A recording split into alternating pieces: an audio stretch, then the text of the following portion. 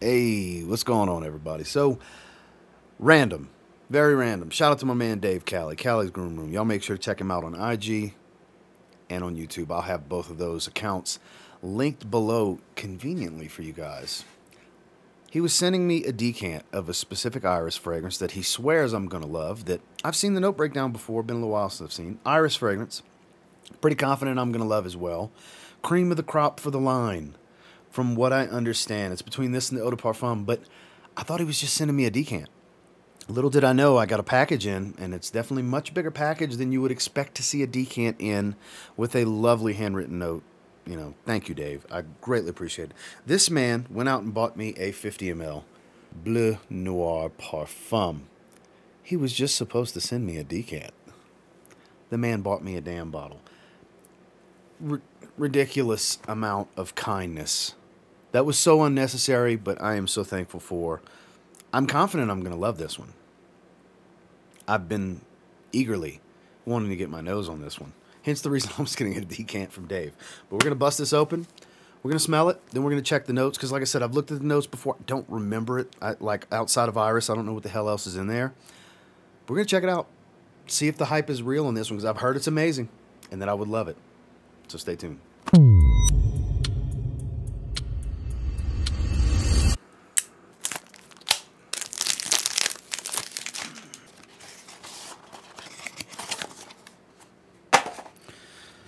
So this is my first fragrance from the house. I'm digging the bottle design. Love blue. Blue and gray are my two favorite colors. Here we go. Narciso Rodriguez for him. Bleu Noir. Parfum. I'm hoping it's everything I've heard it is. Cap clicks into place very strongly.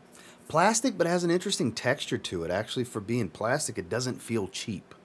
I have to say, it doesn't feel cheap. We're going straight on skin here. Tall atomizer for the bottle. Two good sprays. Great atomizer, by the way. Ooh, it's a creamy, buttery type of iris. I smell it. I smell it. Okay, I'm immediately reminded of fragrances like Givenchy Gentleman Eau de Parfum. I'm immediately putting it in that family.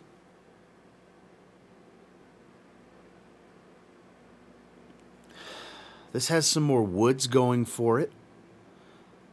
Like this is in the family of that creamy buttery iris. Little bit of waxiness to it, but more creamy and buttery overall. But this has different facets to it. It's not just sweetness and leather. There's a nice woody tone kind of just sitting there. It's not overtaking the fragrance.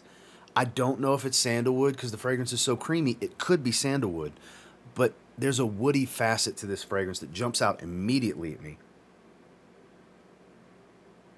Something fresh and spicy at the same time, like an herb of sorts, like that type of spice. It's not really much of a peppery spice. I'm not saying that's not in there, but it doesn't come across as a peppery chili pepper, black pepper, anything along those lines.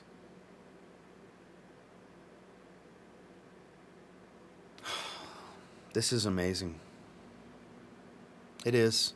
Everybody that said I would love this, you were right. Everybody that said I liked I would like this, you undershot it it's more of a love. Yeah, this is going to get an outstanding first impression rating.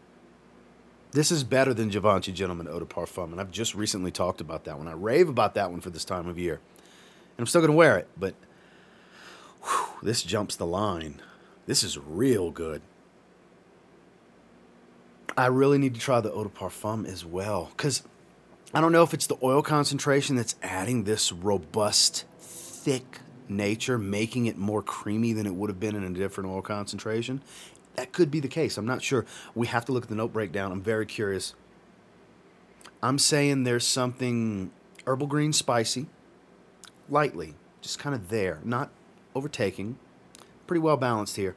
Creamy, buttery iris, very buttery. Woods. And that's really all I'm getting from it at the moment. As it dries, I'm sure it will change, but I'm super eager to know what in the hell is in this note breakdown. So we're going to pull up Parfumo and I'll get it on screen for you guys. Okay, here we go. For him, Bleu Noir Parfum. Let's see.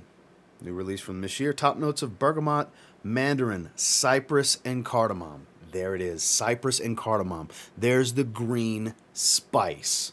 Literally fresh green and spice right there in the top. The heart is musk, iris, and suede. Okay.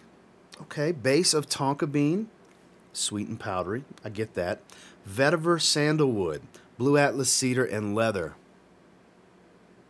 There is a little bit of a leathery facet like that Dior Homme type of tie-in, but it's not overdone. Maybe as it dries, it'll become more of that. But what I get right now is the fresh green spice. I get the super buttery iris and a creaminess and woods. And I'm not surprised to see sandalwood in this note breakdown. It makes sense mixed with vetiver that could be coming across as a fresh woody vetiver, blue atlas cedar, which adds to the woody facet. This is lovely, thick, robust, creamy. If you like creamy scents, this is very creamy. as it dries, it is getting a little bit more leathery, more suede than suede leather than smooth leather. Like it's got that kind of fuzziness that a good suede accord can have, and this is definitely a good one. This is so good. This is so good. Damn. I don't know if I started with the best one, but I started with a great one, if nothing else. Um, I'm going to need to check out the Eau de Parfum. I'm sure I can just blind buy that one. These are the types of fragrances that are blind buy safe for me. Uh, so I could probably just blind buy a 50 ml of the Eau de Parfum. It is getting much more like almost an animalic touch. I don't know if it's the musky nature and the suede accord and the leather, all of that kind of working together to create this lightly like. Uh, raw, almost rawhide animalic tone to it.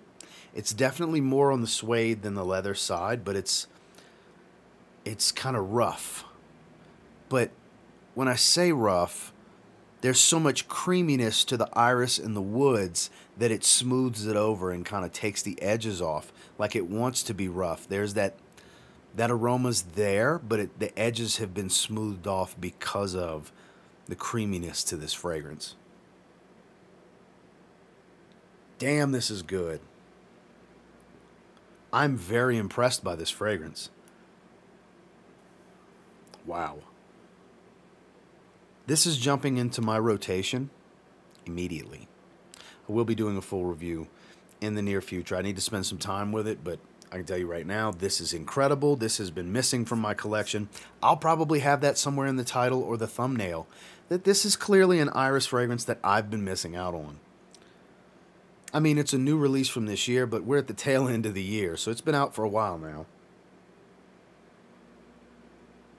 So beautiful, powdery iris. God, I love a good iris note. This is a great iris note. This is fantastic. Anybody that loves iris should sample this at minimum. That's my quick first impressions on Narciso Rodriguez. For him, Bleu Noir Parfum. Thank you again to my man Dave Cali for sending this my way. I was not expecting this. I was anticipating a little decant from his bottle, which would have been plenty, which I would have fell in love all the same. This aroma is magnificent. This is an iris lover's type of fragrance for sure. And if you're an iris lover, you really should get your nose on this. I'm a little late to the game, not too late, but a few months late to the game. But this stuff is magical. It's jumping in the rotation immediately. And until next time, do me a real quick favor. Go ahead and like, comment, subscribe. I do appreciate all the feedback, and I love hearing from you guys. How many of you tried this already? What do you think about it? What do you think about the Eau de Parfum? I'm confident I can just blind buy that one because I love the Parfum. And I know the Eau de Parfum's another iris fragrance. I don't know about the EDT, but I know the EDP is an iris fragrance. And uh, I'm going to need to get my hands on that because this is magnificent. This is better than Givenchy Gentleman Eau de Parfum, I can tell you right now in this first impressions. And I hold that fragrance in higher regard than I hold Dior Homme Intense. So that should tell you a lot. And until next time, I will say if you get your hands on Bleu Noir Parfum from Narciso Rodriguez and give it a spray now, probably going to thank me later. Have a good one, guys.